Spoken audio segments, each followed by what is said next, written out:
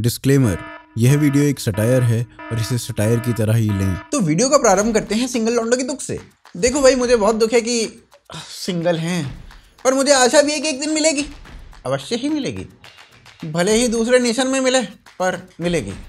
भले ही दूसरे नेशन का नाम इमेजिनेशन हो, पर मिलेगी।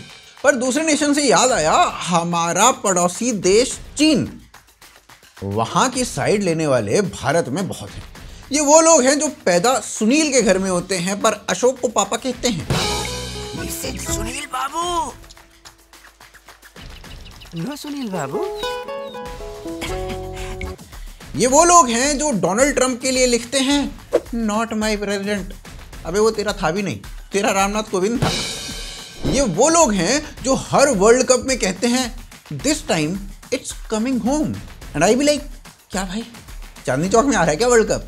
नफरत के बाज़ार में मोहब्बत की दुकान खोल रहा हूँ। मैं आजकल आटे को भी लीटर में तोड़ रहा हूँ। आदरणीय राहुल गांधी जी ने चीन को बूस्ट देते हुए बोला चीनी हमारे जवानों को पीट रहे हैं। जो हमारे जवानों को अरुणाचल प्रदेश में पीट रहे हैं। तेरी माँ देख के आई थी या तेरा बाप? मैंने कुछ नहीं बोला भाई साहब। आकाशवाणी है मुझे नहीं पता किसने बोला। अब भाई इस पे सबने अपने अपने तरीके से रिएक्शन दिया। They do not they do not deserve to have the word pitai. The word pitai should not be used for our jawans. कोई चुनौती आती है कोई संकट आता है इनका एक चरित्र पूरा देश इसी रूप में देखता है हम यह भी जानते हैं कि चीनी दूतावास ने राजीव गांधी फाउंडेशन को किस तरीके से आर्थिक मदद और फंडिंग की है शायद यही कारण है कि राहुल गांधी बार बार चीनी भाषा और पाकिस्तान की भाषा बोलते मनोज मुंतशिर साहब ने भी रिएक्शन दिया। और हमें उस वक्त दुख होता है जब एक निहायत गैर जिम्मेदार राजनेता इस देश का यह कहता है कि हमारे सैनिक चाइनीज़ सैनिकों से पिट गए। इतनी शर्मनाक भाषा का प्रयोग किया जाता है। कैसे करता है कोई? पिट गए। हमारे सैनिक पिट गए। लेकिन मैं क्या दोष दूँ? मैंने चाणक्य को पढ़ा है। आपने भी पढ़ा होगा। चाणक्य का स्टेटमेंट है। मैं कोट कर रहा हूँ सीधे। आचार्य चाणक्य विष्णुगुप्त चाणक्य ने लिखा है कि विदेशी माता से पैदा हुआ पुत्र कभी राष्ट्रभक्त नहीं हो सकता। मनोज मुंतशिर के इस बयान पर बवाल कट गया। अब भाई देश के जवानों को जो अपना बलिदान देते हैं उनके बारे में कुछ भी वकना दिवालियापन नहीं है। परंतु राहुल गांधी सोनिया गांधी के बारे में इतो सा बकना मनोज मुंतशिर का बयान अत्यंत दुराग्रहपूर्ण है। राजनीति से प्रेरित है और उनके दिमागी दिवालियेपन को दर्शाता है। तो इसी बात पे एक शेर याद आया है। रोज सुहाना लगता है चाँद पुराना लगता है। दुनिया करती है पीछे से पर ये तो मुँह से बोलता है। अबे ये कैसा शेर है? इसमें तो राइम ही नहीं हुआ। मन में तो हुआ। भारतीय सेना के ईस्टर्न कमांड ने देश को बताया कि नहीं अरुणाचल का कोई भी हिस्सा चीन ने कैप्चर नहीं किया है। वहाँ के लोकल लोगों ने भी बताया कि नहीं चीन तो पिट रहा था। भारतीय आर्मी ने चीन को पेला है। जो राहुल गांधी ने जो कहा था कि चाइनीज़ आर्मी ने इंडियन आर्मी को पीटा है एक्चुअली वीडियो में तो मैंने देखा कि इंडियन आर्मी चाइनीज़ को पीट रहा राहुल गांधी ने बयान दिया है तो मेरा ख्याल से वो तो बिल्कुल गलत है। उल्टा मतलब हम लोग को इंडियन आर्मी ने उनको भगा दिया है मतलब साफ़ साफ़ देख सकते हैं। ओ जो राहुल गांधी ने बयान दिया है वो गलत दिया है तो हम लोग हम लोग तांग वासी इंडियन आर्मी को बहुत प्राउड फील कर रहा है। और ये झड़पे वहाँ पे आमे वहाँ की पुरानी जो वीडियो थी वो वायरल हो गई।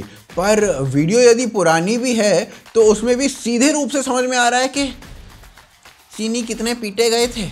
पर राहुल गांधी जी को कौन समझाए? और उनको तो कुछ अलग ही लगता है। देश में बहुत सारे लोगों द्वारा इस प्रकार के अनेकों कमेंट्स दिए गए हैं जो कि भारतीय सेना के विरुद्ध हैं, परंतु चीन से कुछ अलग ही लगाव रहा है भारत के इस एक पक्ष को। औरों पे कर्म अपनों पे सितम करने वाले ये पक्ष कोरोना की वैक्सीन से लेकर भारत चीन की लड़ाई तक, मोबाइल से लेकर चड्डी तक, सब चाइना सब चाइना सब चाइना सब चाइना करते रहते हैं। तो आज इसी पे बात करते हैं द वोक शो में।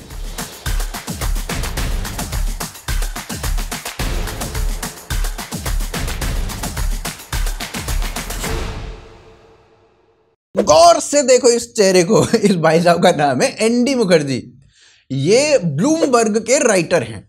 इसकी एक स्पेशलिटी है। ये जिस चीज़ पे आर्टिकल लिख दे मतलब जिस चीज़ पे आर्टिकल लिख दे भगवान कुछ ऐसा कर देते हैं कि जो इसने लिखा है, एक साल के अंदर अंदर ठीक उसका उल्टा हो जाता है। मतलब भाई ने लिख दिया कि बांग्लादेश की इकोनॉमी इतनी तगड़ी चल रही है, इतनी तगड़ी चल रही है कि अब भारत उसके सामने टिका ही नहीं पाएगा। और इसके आर्टिकल लिखने के बाद बाकियों ने भी इसी प्रकार के आर्टिकल लिखने शुरू कर दिए। जैसे टाइम्स ऑफ़ इंडिया ने कारण बताया कि बांग्लादेश ने कैसे भारत को पीछे छोड़ दिया है। इन भैया जी ने भी बांग्लादेश को भारत से आगे बता दिया। भाई साहब, इतना जहर फैल चुका था कि पड़ोस के छुट्टन अंकल भी कहने लगे आप दुकान बांग्लादेश में ही खोल लेता हूँ, भारत तो बिक जाएगा। एनडी भैया ने अपना काम कर दिया था, पर एनडी भैया के आर्टिकल के कुछ ही महीनों बाद बांग्लादेश आईएमएफ के पास गया और बोला, देखो, हमारे देश बेल आउट की स्थिति में है। प्लीज़ हमें थोड़ा सा लोन वोन दे दो। फिर आईएमएफ ने साढ़े चार बिलियन डॉलर दिए और उस देश को बेल आउट होने से बचाया। और ये भाई साहब कह रहे थे कि ये देश इंडिया को पीछे छोड़ने वाला है। तो इस बात पे एक शेर याद आया है। अनिल कपूर की एक फ़िल्म थी, नाम था उसका तेजाब। अनिल कपूर की एक फ़िल्म थी नाम था उसका तेजाब। एनडी भैया के आर्टिकलों पे कर दो सबके सब। लाइक अबे ये कैसा शेर है? इसमें तो राइम ही नहीं हुआ। मन में तो हुआ। एनडी मुखर्जी ने चीन से वैक्सीन लेने के लिए ना ब्लूमबर्ग में ये आर्टिकल लिखा। और इसके बाद एनडी भैया बोले हे काल मार्क्स जैसे हम लोग हे भगवान बोलते हैं ना वैसे इनके मुँह से निकलता हे काल मार्क्स तो एनडी भैया बोले देखो हे काल मार्क्स मैं तुम्हें कोई चैलेंज थोड़ी कर रहा हूँ? कि मैंने ये लिख दिया तो तुम्हें इसने बदलना ही होगा। यार काल मार्क्स आप तो मतलब कतई मेरे पीछे ही पड़ गए हो। यार प्लीज़ इस बार मत बदलना। फिर भाई ने दूसरा आर्टिकल लिखा। इस बार बिज़नेस स्टैंडर्ड में लिखा, भारत की वैक्सीन पॉलिसी फेल हो चुकी है। अब भारत को चीन से वैक्सीन खरीद लेनी चाहिए। भारत के बस की कुछ भी नहीं है। अब भैया, भारत में तो ये सब कुछ हो रहा था। तो बाहर के पब्लिशर्स भी छापने लग गए कि चीन की वैक्सीन। आहा, बहुत इंपॉर्टेंट है। हिंदुस्तान टाइम्स ने छाप दिया कि भारत में पाए जाने वाले वेरिएंट पर सबसे अधिक इफ़ेक्टिव चीन की वैक्सीन है। द वायर ने बताया, कितना बड़ा अनर्थ कर रही है भारत की सरकार चीन से वैक्सीन ना लेके। साउथ चाइना मॉर्निंग पोस्ट में अग्नि घोष, इन्होंने मैडम ने लिखा, मोदी को अब अपना प्राइड ना, सटक जाना चाहिए। और चीन से कोरोना वैक्सीन ले लेनी चाहिए। ऐसे में क्विंट भी कहाँ पीछे रहने वाला था? भाई साहब, पूरा मोमेंटम बनाया गया कि देखो देखो इस अत्याचारी फासिस्ट को। चीन से वैक्सीन नहीं खरीद रहा है। और भाई साहब, इस कैडे आदमी ने फिर भी नहीं खरीदी। इस पे एक शेर याद आया है, नहीं खरीद रहे तुमसे वैक्सीन, ना हाथी, ना घोड़ा। नहीं खरीद रहे तुमसे वैक्सीन, ना हाथी, ना घोड़ा। अब मत बोल दियो, नहीं तो फेंक के मारूँगा। चौक। अबे ये कैसा शेर है? इसमें तो राइम ही नहीं हुआ। मन में तो हुआ। तो भाई अब इन अजब प्राणियों ने अलग लेवल का गेम शुरू कर दिया। टाइम्स ऑफ़ इंडिया की इंद्राणी बागची बोस्ट करने लग गई। देखो चीन ने 20 मिलियन वैक्सीन एक दिन में लगा दी। सबा नकली सबा नकवी ने कहा कि चीन ने 20 मिलियन वैक्सीन लगा दी हैं एक दिन में। इसे डाइजेस्ट कर लो। नहीं बहन हम कहा डाइजेस्ट कर पा रहे हैं? हम तो पीछे हो रही है हमारे तो है? हमारे तो खट्टी डकार आ रही है। तेरो ही हाजमा बढ़िया है। हॉस्पिटल में थोड़ी पैदा हुई। तू तो हाजमोला कैंडी में तो निकली। वहाँ ने रैपर खोला। और यहाँ तक अरे, यू तो सबा है। कांग्रेस ने भारत पे विश्व गुरु वाला तंज कसना शुरू कर दिया। देखो, चीन 15 मिलियन वैक्सीन एक दिन में। Communist party of India Marxist ने चीन को एक बढ़िया सा इन्फोग्राफिक बना के प्रेज किया और कहा कॉन्ग्रेचुलेशन चाइना तुमने 200 मिलियन वैक्सीन लगा दी। वाह. पर भाई साहब, उसी दिन ना, भारत ने एक दिन में एक करोड़ वैक्सीन लगाई थी। भारत को कोई कॉन्ग्रेचुलेशन नहीं इन लोगों के द्वारा। हमने सोचा, भाई, इनकी सोच बड़ी होगी। जब हम 200 मिलियन करेंगे, तब हमें कॉन्ग्रेचुलेट करेंगे। पर जब हमने किया, इन्होंने तब भी नहीं किया। ये देखो, स्वाति चतुर्वेदी मैडम को चीन के 20 मिलियन को दिखाकर कह रही थी, सीखा, कुछ सीखा, इससे सीखा, कुछ तो सीखा। फिर चीन में कोविड आउटब्रेक हो गया। तो कह रही हैं, चीन से क्या सीखना? चीन से और क्या एक्सपेक्ट कर सकते हो? इनके पास तो ना नीति है, ना वैक्सीन कैसे कर लेती है मैडम आप ऐसा? मेरी तो आँखों के सामने भाई साहब डेजा चू डेजा वू हो गया था। मैंने कहा, अरे, स्वरा भास्कर बनना चाह रही है मैडम। मैं कसम खा के कह रही हूँ, मैं बहुत, मैं काफ़ी जगह घूमी हूँ, लेकिन London New York Istanbul Paris सब फेल है लाहौर के सामने। And why should we hold up Pakistan which is like a failing state ये मतलब कुछ वैसा है जैसे आपके पिताजी आपको खूब कूटते मार मार के बेल्ट है बेल्ट क्योंकि आपके सत्तावन परसेंट आए हैं और शर्मा जी की बेटी के सत्तानवे परसेंट फिर दो महीने बाद पता चलता है कि शर्मा जी की लड़की तो भाग गई। आपके पिताजी सबको कह रहे हैं उस लड़की के चाल चलन पहले से ही सही नहीं थे। मैंने तो अपने टिल्लू को कभी उसके इन्फ्लुएंस में आने ही नहीं दिया। और आप पापा को ऐसे देख रहे हो? अरे, पापा, क्या बोल रहे हो? तो चलिए इसको बारीकी से समझने के लिए हम चलते हैं अपने गेस्ट के पास, जो एक ऐसी पर्सनैलिटी हैं, जिन्हें देख के लगता है, अरे, ये भी पर्सनैलिटी है। जिन्हें लगता है अडानी ने टीवी चैनल इसलिए खरीदा क्योंकि इन्हें रास्ते से हटाना था। जिन्हें लगता है कि भैंस इसलिए दूध देती है ताकि उसका घी बने और घी से इनका कोलेस्ट्रॉल भरे और ये रास्ते से हटा जा सके इन्हें। सब सोची समझी प्लानिंग है भाई साहब। उस दिन बारिश हो गई। भाई बोला, ये प्लानिंग है। मैंने पूछा, किसकी? बारिश की? तो बोला, नहीं, बारिश की नहीं, मोदी की। मोदी ने बारिश कराई है, अब कीचड़ होगी। कीचड़ से फिर मैं फिसल जाऊँगा। मुझे रास्ते से हटाने के लिए बारिश कराई गई है। तो स्वागत करिए किलविश कुमार का।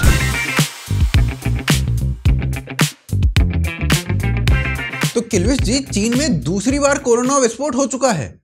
अब पूरे विश्व में संक्रमण फैलने का पूरा पूरा खतरा है। आपका क्या कहना है इस पे? ये सब साजिश है मेरे आगे। कैसे? गौतम के पिता को कहा गया कि तुम गौतम की माता से विवाह कर दो ताकि गौतम पैदा हो। गौतम को अमीर बनाया ही इसलिए गया कि वो मुझे एनडीटीवी से निकाल सके। मतलब आपके अगेंस्ट प्लानिंग मोदी जी ने तब कर दी थी जब वो चाय बेच रहे थे। उससे भी पहले से मोदी जी के माता पिता को मिलवाया ही इसलिए गया कि वो मोदी जी को पैदा कर सके वो पीएम बन सके और मेरी जॉब खा सके। अब तू पागल वागल है क्या? इसका चीन के कोरोना से क्या लेना देना? मुझे पता चल गया तेरे माँ बाप की भी शादी इसीलिए कराई गई कि तू मुझे पैदा होते ही पागल बोल सके। सब मेरे अगेंस्ट अरे भाई कोई लेके जाओ इसको ये आदमी बात करने लायक नहीं है भाई लेके जाओ इसे। अब भाई पहले वाला जब कोरोना फटा था तो चीन पर बहुत उंगलियाँ उठी थी। पर चीन को बचाने के लिए रवीश कुमार जी ने प्राइम टाइम बना दिया था। जर्मनी की चांसलर एंजेला मर्केल ने चीन की भूमिका को लेकर कुछ भी नहीं कहा है। लेकिन वहाँ के एक अफवाहबाज अखबार ने खबर छाप दी। अपनी तरफ़ से एक फर्जी बिल बना दिया कि जर्मनी को 10 लाख करोड़ का नुकसान हुआ है कोविड 19 के कारण। चीन इसकी भरपाई करे। अब ऐसी खबरों का कोई क्या संज्ञान ले?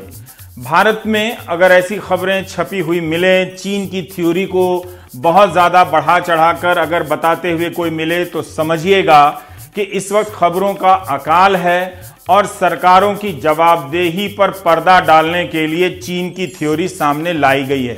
चलो, ठीक है भाई, जैसा आपको सही लगे। 11 अप्रैल 2021 को चीन के टॉप ऑफिशियल्स ने मान लिया कि चीन की वैक्सीन इनफेक्टिव है।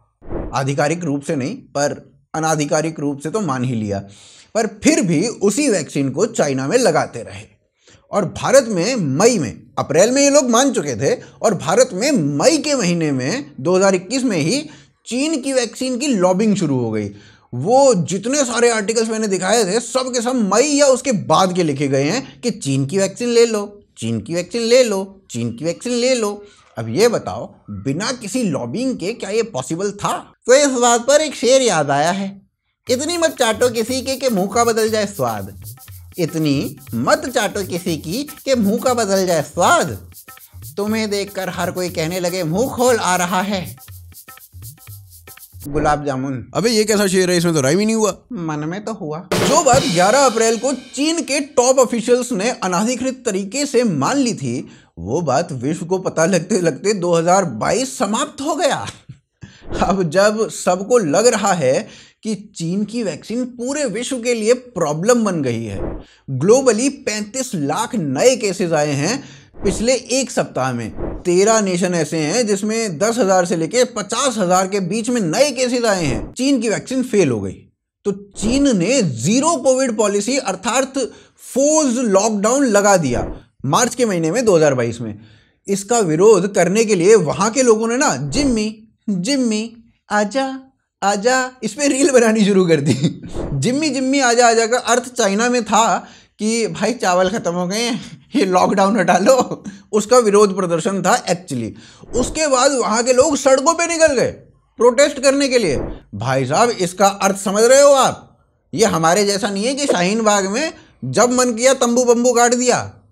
इसका अर्थ है अब हमने मौत से डरना छोड़ दिया है। तो इस बात पे एक शेर याद आया है। मरना कौन चाहता है पर मारने के लिए जला रखी है तुमने भट्टी। मरना कौन चाहता है पर मारने के लिए जला रखी है तुमने भट्टी। तुम्हारी वैक्सीन देखकर निकल गई सबकी। जान। अबे ये कैसा शेर है? इसमें तो राइम ही नहीं हुआ। मन में तो हुआ। चीन की वैक्सीन की लॉबिंग चल रही थी पर इतने में भारत ने अपनी वैक्सीन लॉन्च कर दी। इन्होंने भारत की वैक्सीन को रिडिक्यूल करना शुरू कर दिया। पर वो जानने से पहले हम थोड़ा सा और ज्ञान इसी में ले लेते हैं ग्राम दर्शन में।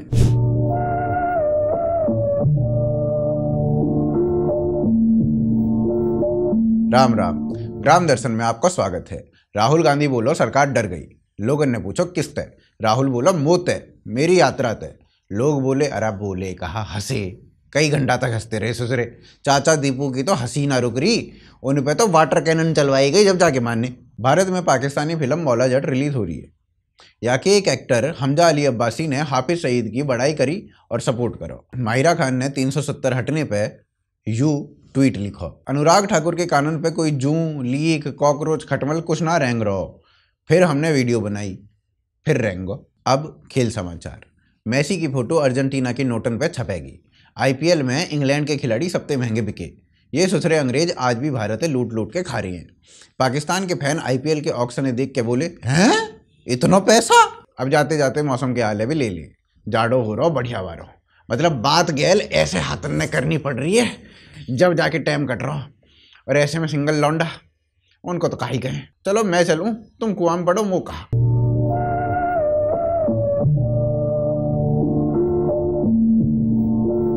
अब भाई एक और देश में परोसा जा रहा था, चीनी वैक्सीन ले लो, चीनी वैक्सीन ले लो का बवासीर। और दूसरी ओर फैलाया जा रहा था कि भारत की वैक्सीन खराब है का विश। मतलब जो वैक्सीन चीन के टॉप ऑफिशियल्स मान रहे हैं कि इनफेक्टिव है और बाद में जिसके कारण पूरा बवासीर हो गया, वो इन गधे के बच्चों के लिए अच्छी है। और वही चाहिए इन्हें, और उसके लिए ना भाई साहब, भारत की एक जनता नेपाल जाके उसको लेके आई है। उधर से भारत के टॉप ऑफिशियल्स बोल रहे हैं कि हमारी वैक्सीन एकदम बढ़िया है पर उसके लिए लोग तैयार नहीं थे। उसके लिए वो कह रहे थे ये तो बीजेपी की वैक्सीन है ये थोड़ी लगवाएँगे? हम बीजेपी का वैक्सीन नहीं लगवा सकते। फिर सेकेंड वेव में भाई ने लगवा ली। संदीप सिंह वॉट द से साडा हक तक आ गए। हम लगाएँगे बिल्कुल लगाएँगे आपको भी लेकर लगवाएँगे। मैं तो नहीं लगाऊँगा दिक्कत है तो नहीं लगाऊँगा। कोई दिक्कत है तो मैं आपको आपको हेल्प भी करूँगा लगवाने में। मैं लगाऊँगा ही नहीं। ये टीकाकरण मुझे क्यों ना दिया जाए? और मुफ़्त में क्यों ना दिया जाए? सतीश आचार्य ने इतने कार्टून बनाए कि नहीं नहीं भारत की वैक्सीन खराब है मत लगवाना। फिर थोड़े ही दिन में खुद जाके लगवा ली। समझ में नहीं आ रहा था कार्टून कौन है। फिर भाई साहब ने वैक्सीन के ऊपर क्वेश्चन कर दिया। Who is going to get himself vaccinated with a vaccine where there are question marks on its reliability? और स्वाति चतुर्वेदी ने खुला कह दिया कि भारत बायोटेक पर भरोसा ही नहीं है। प्रशांत भूषण ने कहा कोरोना तो खुद ही मर रहा है। उसके लिए इतना पैसा क्यों बर्बाद कर रहे हो हैं? ये मोदी भी नहीं समझ सकता कुछ भी। इसको आता ही नहीं है कुछ। इनको आता ही नहीं है। इनको पड़ी ही नहीं है। सागरिका को हमारी वैक्सीन पे कॉन्फिडेंस नहीं था। समाजवादियों को लग रहा था कि वैक्सीन से नपुंसक बन जाएँगे।